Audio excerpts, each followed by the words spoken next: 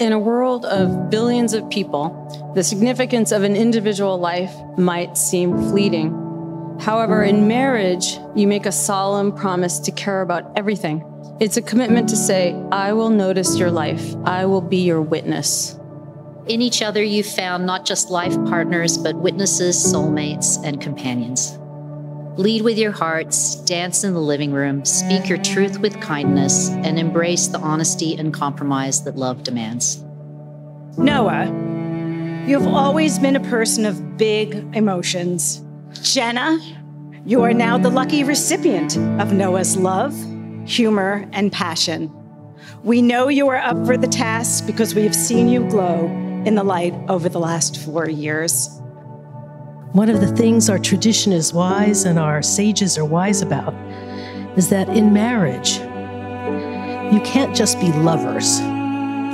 You also have to learn to be friends, best friends, to support each other when it's really, really hard, and also when it's really, really joyous, like tonight. And so that is our hopes and prayers for the both of you.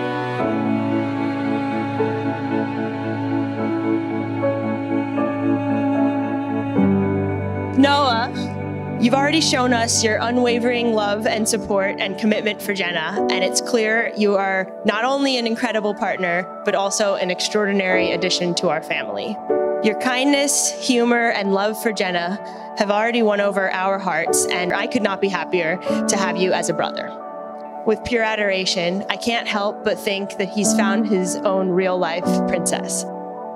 You know, even in times of pain, and especially in times of pain, we celebrate weddings because a wedding proves that Am Yisrael Chai, the people of Israel live and they'll continue to live.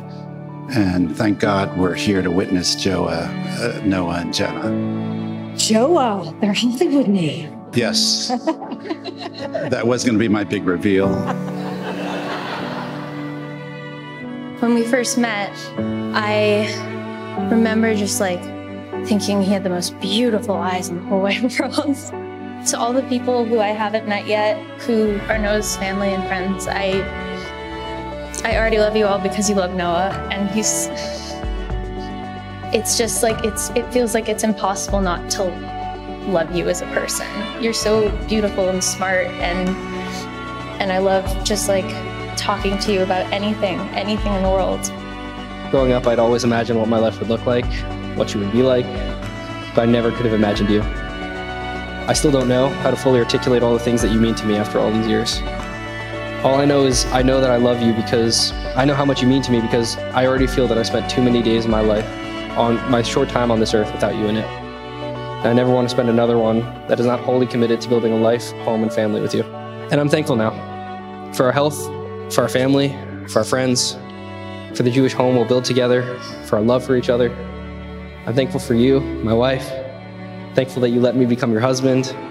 Thankful that I get to spend every second of every day for the rest of my life on this earth, and please God the next, treasuring you, listening to you, respecting you, valuing you, honoring you, making you proud, sharing a life with you, a home with you, a family with you, and loving you. I love you very much.